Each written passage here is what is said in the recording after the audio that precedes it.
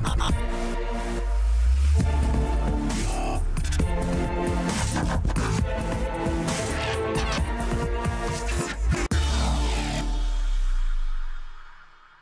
Глядя на нашего героя, один выдающийся режиссер сказал, он либо ненормальный, либо гениальный. Вообще вся жизнь этого человека подобна чуду. Буквально с пеленок он мечтал быть артистом, но стал поистине известен только после 40. Вся его линия жизни поделена на три отрезка, и в одном из них неминуемая гибель обернулась возрождением. Рядом со мной народный артист России, гениальный актер Виктор Сухоруков. Виктор, здравствуйте и спасибо вам большое за эту встречу. Спасибо и вам. Здравствуйте. Когда-то давно, в 2000-х, где-то в начале, вы сказали журналисту, что вам бы очень хотелось, и вы мечтаете о том, чтобы стать достоянием республики, попасть в историю да, и оставить после себя информацию. Хорошее, громкое, амбициозное заявление. Вот и все. Это скромные амбиции. Э, сегодня берут другим. Бузовщиной. Угу. У нас Бузовщины не было. У нас было что-то другое. И, конечно, я это заявлял иронично, вертляво, шутовски. Потому что даже к таким вещам, как слава, популярность, деньги, мы относились по-другому. Мало того, вдогонку, впоследствии, когда я уже начал сниматься и потом играть в спектакле, у меня были случаи, когда «А не боитесь эту роль играть? Ее играл сам Леонов. А не боитесь играть эту роль? Ее играл сам Смоктуновский. А не боитесь?» Я говорю «Нет, не боюсь, я сыграю лучше». Понимаете? Ой, какая самонадеянность! Вы не... Ну, да, потому что каков вопрос, таков ответ – я ведь играю не Смоктуновского, там Леон, э, э, Леонова и проживаю не их жизни, я проживаю свою жизнь. Я иду своим путем. Это мое путешествие. Оно не ровное, оно не хайвей, оно не какая-то трасса со свистом и шуршанием импортных шин, понимаете, какого-то э, лакированного автомобиля. Все непросто, все, знаете, как бывает и в сапогах, бывает и босиком. Э, идешь по жизни и спотыкаешься, и окровавливаешься, и э, размазываешь сопли по розовым щекам. Всякое бывает, но наступает какой-то момент или какие-то мгновения жизни бывают, когда ты думаешь, а кто ты есть? А зачем ты? А чего ты хочешь? Я-то знаю, что я хочу. Только, оказывается, мои желания зависят от других. И тогда говорят, я свободен. Да никто не свободен. Но только мы не свободны не от власти. Мы не свободны от самих себя. От самого себя ты не свободен. Вот в чем тайна тайн и нерасшифрованная э, философия каждой, жизни каждого из нас. Впервые об этом заявляю. И когда я вижу молодого человека, одетого, обутого, хорошо выглядевшего, может быть, хорошо пахнущего, потому что парфюмерные магазины, как столовых э, с котлетами. Понимаете? И он вдруг орет, хочу свободы, там у меня отняли юность или детство. Я немножко удивляюсь этим людям, потому что хочется задать вопрос. Ты сначала мне, пожившему, растерявшему, растерявшему по жизни очень много, пожертвовавшему, и все равно радующимся жизни. Я жизни радуюсь, любой, потому что она жизнь. Хочется задать вопрос. Расшифруй мне, дураку, старому, лысому, а что такое свобода? А что такое самодостаточность, что такое целеустремленность, что такое твои желания. Вот и все. Нет ответа. Есть какие-то невнятицы, э, мычания и неграмотность. А сегодняшнему Виктору Ивановичу какие воспоминания о себе после себя хотелось бы оставить? Благодарность тот поход людей, которые еще будут меня помнить, чтобы они говорили, был Витька Сухоруков, был Витюшка, был Виктор Сух... Иванович. Ой, вы, вы не застали Сухорукова, а вот я была знакома с Сухоруковым, а я видел Сухорукова. И мне кажется опять, это я фантазирую, первый раз тоже говорю, наверное, после смерти восхищение, благодарности и комплименты будут звучать честнее, чем при жизни. Почему-то мы э, одни комплексуют от высокопарных слов. И когда вы представляли Сухорукова, сказали «гениальный артист», и мне в дураку ногу на ногу и, за, знаете, как это, заурчать перед вами. А за... вам стало неловко? А, а я что-то стеснялся. Чуть-чуть. Душ, вот где-то там. Вот чуть-чуть. Думаю, ну вот, зачем? Почему? Я вдруг подумал о своих коллегах, о своем поколении, об актерах, у которых чего-то не складывается, что-то не происходит. А мы были рядом. Мы пили вместе, ходили вместе, э, разбегались, сходились. И вдруг я ушел, а многие остались. И они не достигли тех высот, каких достиг я. А я их достиг. Я этих высот достиг, поэтому иногда поднимаю глаза к небу говорю, Господи, не заслужил. За что мне? А я знаю за что. Но только мне уже неловко не перед Богом, а перед теми людьми, которые были со мной рядом и поставили на мне крест. И такое бывало. И в данном случае сегодня, да, да, я хочу оставить после себя здоровые воспоминания. Хочется сегодня, мне сегодня вот э, в ясном уме и трезвой памяти заявлять, что хочу жить и работать с пользой. Какое-то знание, пусть чуть-чуть, но знание входило в людей после общения со мной. Не знаю, тоже, наверное, это возрастное. Виктор Иванович, если посмотреть на вашу афишу на два месяца вперед, да, вы одновременно сейчас задействованы как минимум в пяти спектаклях. Сейчас перечисляем вместе, да? Старший сын, царство отца шесть, и сын. Шесть. Шесть, шесть даже. А, а что шестой, интересно? РРР, улыбнись нам, Господи, и встречайте, мы уходим. Шестой какой? Царство отца и сына, римская комедия. Римскую комедию забыла. Я поняла. А, ни в одной из этих постановок был у вас... Тар... Был еще Тартюф на Малой Бронной. Я уже год как не играю. Так это год не играете, а в ближайшие месяцы мы перечисляли спектакли. А, да, это... И у вас нет второго состава Нигде. ни в одной из постановок. Это режиссерское решение или ваше какое-то принципиальное условие? Ну, это вы режиссеров и спросите, но, по крайней мере, открою секрет. Совсем недавно ходил к руководству одного театра. Я служу в театре Моссовета, а «Улыбнись нам, Господи» – это спектакль театра имени Евгения Махтангова. А старший сын – это э, театральное товарищество «Свободная сцена», театральное агентство. Ну, и она называется антреприза. А так как слово антреприза, оно немножечко опошлено, испохаблено, испорчено и звучит немножечко не очень правильно, то я э, отрезал половинку и называю вантре. Я играю в антре. Старший сын вот, грандиозным успехом пользуется спектаклем. Недавно были на гастролях турне по Германии с юга на север, пять городов. Ой, ой, как принимали, как принимали. Как думаете, в чем успех? Э, я думаю, в честности. В честности актеров, потому что команда очень талантливая, и каждый в отдельности очень честно трудились э, на сцене, а это очень важно. Талант талантом, но талант должен быть видимым, э, пружинистым, энергичным. Талант должен отдаваться, а не просто демонстрироваться. Вот смотрите, какой я талантливый, вот глядите, какая я красивая. И красота должна бежать, как поток реки в зрительный зал. Все, что приготовлено на, на сцену для зрителей, все должно уноситься туда. Если это только иллюстрация, конечно, это скучно, неинтересно, и поэтому никакой радости. А когда это все сочиняется, и, а вот эта отдача и есть честность. И когда это полная отдача, стопроцентная честность, вот в этом и успех. Уверен. Угу. По-другому не могу сказать. Так вот... Э, вы говорите, э, там нет 7, второго 6. состава. Нет второго состава. Почему? Я вот недавно в театре в своем пришел к руководству и говорю, ну вот хочу начать новый спектакль какой-нибудь. Э, говорю, ну давайте немножечко разбавим. И есть спектакли, тем более они уже все взрослые. «Царство отца и сына» идет с ошеломительным успехом 11 лет. Угу. Ну, 10, нет, 11. Федора Ивановича играю. Ой, не хотят. Угу. В римской комедии уже ушел Георгий Георгиевич Тараторкин, тоже питерский актер. Ну, вот, правда, он там полжизни отработал. Ну, вот, поменяли на другого актера. И, конечно, э, по-моему, на мой взгляд, я честно это признаюсь, э, спектакль стал утрачивать смысл. Они разные, Сергей Виноградов и э, Тараторкин. Пришел тоже, говорю, дайте мне второй состав. Не дают. Угу.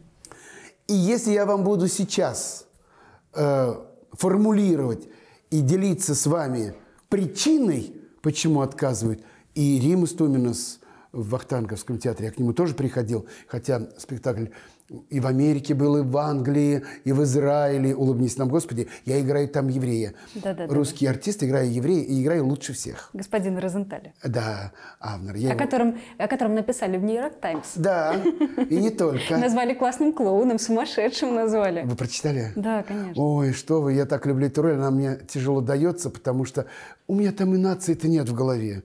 У меня там судьба. И я эту судьбу несу. Ой, вот сейчас я начну вспоминать и рыдать стану. И это тоже не э, показуха, а именно э, э, Рима Стумина настолько заложил. Он ведь работает очень вскользь с актерами. Он, он строитель, он инженер. Понимаете? А вот внутренний мир мы сами сочиняли. И в данном случае как-то он меня выбрал, и опять он тайком посмотрел спектакль Тартюфа, там м, ходил, познакомился со мной, только после этого говорит, приходи, у меня роль для тебя есть. И, конечно, огромный, мощный, исторический, традиционный театр Вахтангов, традиционный со своими традициями театр, и вдруг вытаскивает с улицы артиста, не самого плохого, конечно, но чужого. И я это понимал, и тем не менее э, для меня это награда, премия Бога, как я однажды сказал Ван Денке э, в интервью, потому что такие роли э, не каждый, как, как это сказать, это даже не выиграть, не купить, э, не откопать э, в археологических экспедициях. Вот дал, дал Бог. И поэтому, когда ты не, не находишь ответа, откуда это пришло и за что тебе, начинаешь смотреть к небу, поднимать глаза и думать, это промысел. Так и здесь. И даже он, когда я пришел, говорю, отпусти меня, тоже первый раз рассказываю. Он вжался в кресло, он говорит, я тебя понимаю. Я подумаю. Я посмотрел на него, дошел до двери кабинета, повернулся к нему и говорю, забудь про разговор. И он мне ответил, спасибо. Вот. И почему? Надо их спросить. Не повторить. Не повторить. Вот Я поэтому. думаю, и, и поэтому мне неловко э, даже предположительно объяснять, почему я один везде во всех ролях. Я знаю одну причину, но одну из причин, потому что в них Сухоруков. Горжусь ли я этим? Не очень, потому что если бы у меня был компаньон, напарник, соратник, коллега, даже соперник, если бы на моих ролях нас было двое, трое, ну, четверо – это уже неприлично, э, я бы не был конкурентом, я был бы союзником, ну, убежден. Ну, не хотят, что делать. А мне тяжело, потому что я хочу идти на новенького, а у меня уже и времени нет. Я сейчас ведь снимаюсь в фильме «Иван Грозный» Малюты Скуратовой. Я сыграл его э, в сериале э, Борис Годунов. Да-да-да. Одна серия всего. Выдал замуж дочку за Годунова и познакомил его с Иваном. Все. И ушел. А тут уже серьезный вот этот огромный период истории Руси. И там, конечно, нужен Скуратов по-серьезному. Я говорю, не сяду на коня, не сяду, ни к лошади не подойду, отстаньте. Ну, они там что-то сочинили такое, что мой Скуратов на лошади не поедет. Может быть, поедет кто-то другой, но мне это уже не важно. Роль интереснейшая, работаю с наслаждением. Я снимаюсь вот сегодня в Иване Грозном, попадаю действительно в мир кино, не в киноиндустрию, понимаете, не в проект, а именно мир кино, в сказку, декорации, мебель, все вот эти даже э, реквизиты, от, свеч, от подсвечника до перстней, одежды. Матерь Божья, ой, Аларкон та- так строит атмосферу дыма, тумана, воды, огня, э, пыли. Э, Ой, ну это что-то, ветоши, вот это горше, горшки, все это, ну красота не описана. Ну и, конечно, Алеша Андрианов, который был режиссером Годунова, он продолжает снимать Грозного. Ну что, э, вот сейчас каждый раз я уже этого не делаю. Раньше было любопытно. И, и что мы сегодня сделали? Покажи, покажи. Сейчас я уже не, не сильно прошу, но иногда подсматриваю, как мы сняли тот или иной эпизод. Я в счастье. И вот этого счастья сегодня маловато. Может быть, потому Хочется что... больше сниматься? Нет, нет, потребность всегда есть, потому что это труд, это работа, да тем более она меня уже как бы приковала к себе. Но я был избалован в 90-х, я был избалован поздно, то есть я был принят э, в киномир поздно, 80, по-серьезному в 89 году Юрием Маминым, Питере Бакенбарды, фильм Бакенбарды. Но потом, в 90-е годы, конечно, я был избалован и режиссерами, и ролями, и количеством, в конце концов, и наградами. У меня столько призов, что даже э, посуды меньше, чем этих призов. Они у меня все на виду, я их не прячу. Они у меня дома, не в офисах, потому что у меня нету ни агентов, никаких директоров, у меня ни, ни, ни водителей, у меня ничего этого нету. Я хочу быть простым смертным, но только со званием народный артист и с любовью народа. Вот и все. Ну вот идет одинокий человек по тротуару, а он народный артист, любимец народа. Но я одинокий человечек, который э, живу и хожу, дышу среди всех остальных. А вот расскажите-ка, пожалуйста, как у народного артиста России затесался среди всех наград «Оскар»? А, сам купил на бульваре, где кинотеатр «Кодек», где проходит церемония. Я был в Лос-Анджелесе э, с делегацией Стаса Намина в свое время. Ну и как, надо посмотреть, где эти звезды в тротуары втюханы, где ходят э, мировые звезды, заходят э, в кинотеатр «Кодек». А там на обратной стороне улицы Ларечки, ларечки, ларечки, ларечки, как мы тоже в 90-х годах в Москве. Э, вот эти все киоски, киоски, киоски. И там продают, естественно, сувенирную продукцию. И Оскаров немерено. Ничего делать не надо, только были бы деньги. Ну и взял и купил. А и, за, за что себе вручил? Как? За то, что я есть. Там придумать можно. Я даже написал не за что-то. Я мальчика говорю, выгравируй меня. И у меня Оскар стоит. The best actor – Виктор Сухоруков. Вот и все, лучший актер. А уж актер чего? Это не важно. Электрички, вокзала, э, общественного туалета, э, театра, не важно. Актер жизни, мира своей профессии. Ну вот скажите, голливудские актеры, они ведь все э, со сцены признаются э, в том, что в детстве они себе это представляли, очень четко видели, репетировали эту речь в микрофон, в фен, куда угодно, в шампунь буквально, да? С вами что-то подобное было? Вы поклонны репетировали? Никогда. Я и с вами-то разговариваю вы же видите, импровизационно. Я никогда ни к чему не готовлюсь. Я готовлюсь к действию, а не к слову. Я слово не сочиняю.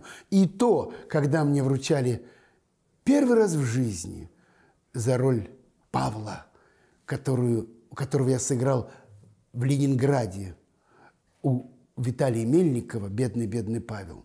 Как он мне доверил. Фантастическая роль. Удивляюсь, да. И мне вручали Нику. Конечно, я был потрясен. И вручал мне Кирилл Лавров, народный артист Советского Союза, тоже актер театра БДТ. И Тамара Гверцетели. И я, естественно, вышел в смокинге от Пьера Картена с бабочкой и действительно сказал, что вдруг вспыхнуло в моем сознании. Я не благодарил родителей, я благодарил и друзей, почитателей, и врагов, завистников. Я благодарил всех. Кто сделал? Да, э, за то, что это случилось. И там была фраза «Я Фабричный мальчик из Орехова-Зуева сегодня получаю Нику чудеса. Только ваш брат журналистка, куда делся, не знаю, из центральной газеты московской в свое время, и пишет. И вышел Сухоруков получать приз, значит, за главную мужскую роль.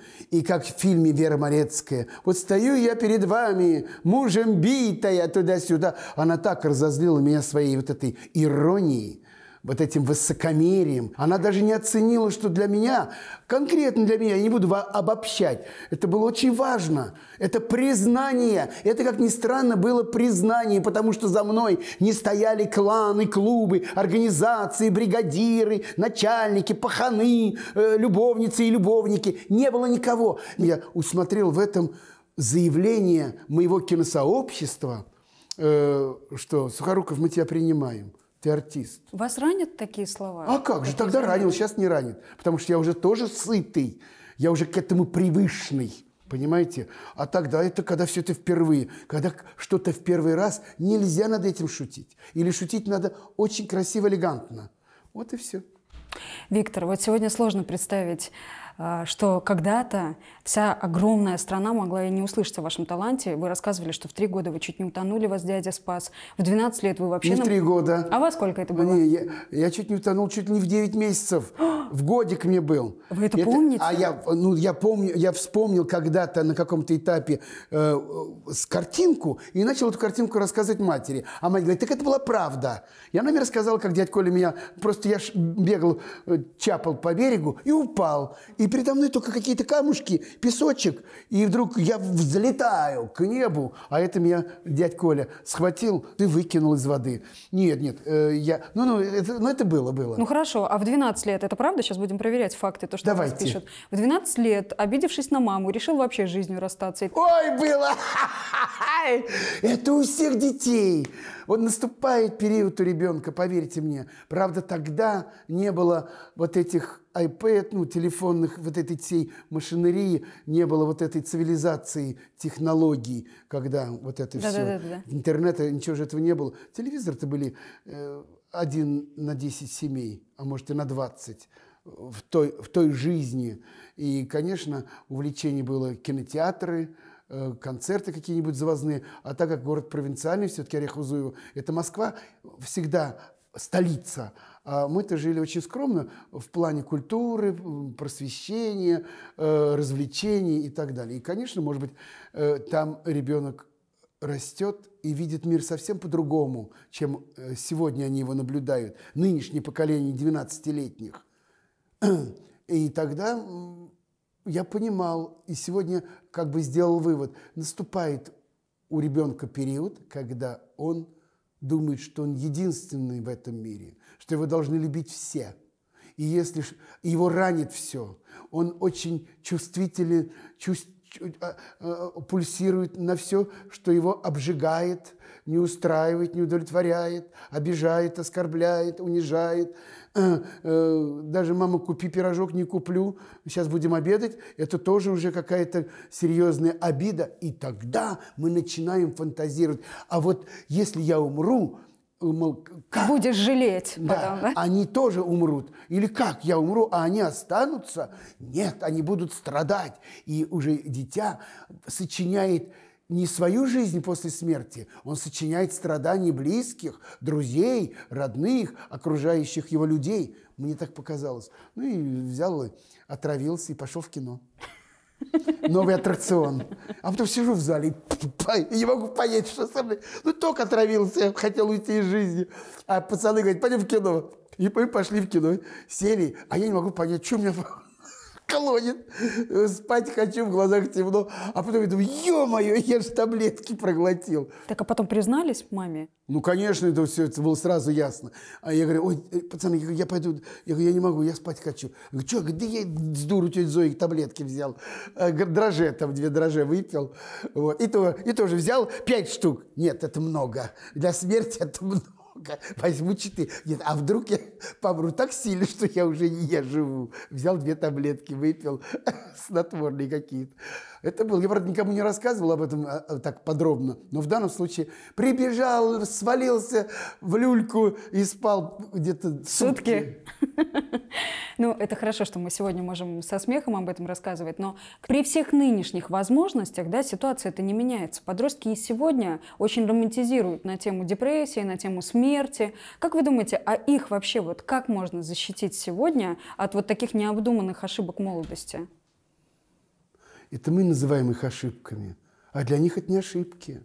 Для них, для юного поколения. Вот в чем и есть разница, как говорят, проблема отцов и детей. Со времен мира древнего всегда были проблемы взрослых и юных. Во веки веков это будет всегда. Другое дело. Одно дело выпить две таблетки и выспаться, а Другой случай, когда мальчик с девочкой стреляет по полицейским, снимают это все на телефон и говорят, ну давайте нам лайки, давайте. И думаю, а нашлись люди, которые говорят, вам вон, в дурдом пора. А другие вообще говорить об этом не должны. А были выломать, должны были выломать двери, схватить их за шкирку и пендаля в сумасшедший дом. И лечить а другого нет, потому что это уже не юность, не детство, это не познание мира, это безумие. И оно, а это вот, ну, последний случай-то, ну, это ей 29 лет сказали, девчонки-то, двое детей, учиняет день рождения, и все, ведь она снимает на эту. Я не могу понять. Наверное, людям интересно заглядывать в замочную скважину. Есть такой образ – мы же не заглядывали, но образ замочной скважины был всегда и в нашу ой, молодость. У нее день рождения, муж, тем более, говорят, погиб. Представляете, а она все снимает. Снимай! Снимай пляски, снимай друзей, снимай праздник. И вдруг этот праздник опрокидывается во мрак трагедия. И она опять идет в мир с этими, с какими-то железками в зубах. Конечно, это какой-то сатанизм, это бесовщина, это нечеловеческое поведение. Я не знаю, какое. Но в это вы залезьте сидеть и говорить всему миру, какая я... я ну, не, я не могу это даже объяснить как актер. Вот э, дай мне эту роль, и как, какую подложить под это почву, я не знаю. И поэтому, когда нет ответа, начинаешь пугаться, потому что не помочь, не сказать, не быть с ней, у меня нет желания, потому что я не знаю, а что мне с этим человеком? А таких много. И вы говорите, как им сказать, что вот это, ну, с бой с сигаретами появились эти водяные трубочки. Я бросал курить, как на войну шел. И когда у меня вот это, начались вот эти э, ломки, бросание, курение. Я назвал это пытками врага. Вот меня враг пытает. И я сказал, умирай, Сухоруков, не предавай вот того очищения. Ты хочешь очиститься, освободиться? Освобождайся. Умри, но освободись. Я не курю до сих пор. Это одиночная борьба. Как бороться за огромную армию молодых людей, мальчиков и девочек? Потому что Хочется им сказать, вы прекрасны, вы красивы, вы одеты, вы обуты, вы хорошо пахнете. У вас все в порядке, у вас и зубки чистые, и вы их даже можете поправить, изменить. Стоматология великолепно развивается. Чего вам не хватает? И дальше начинается назидательность. Они ее так будут воспринимать, потому что они... Вот это и есть э, разговор двух времен – и никогда здесь согласия не будет, и понимания не будет. Вот и все. И когда взрослый говорит, я хочу жить в ногу со временем, каким? А что для тебя понимание времени? В ногу со временем, а вторая нога где у этого времени? Понимаете, кто за этим стоит? Новое поколение, юность? Нет, ты им не нужен ты не интересен, потому что у тебя свои привычки, свои пристрастия, своя философия жизни. Но наша философия жизни почему и разнится? Потому что если бы юность умела, если бы старость могла, вот и все. Никогда мы не будем вместе –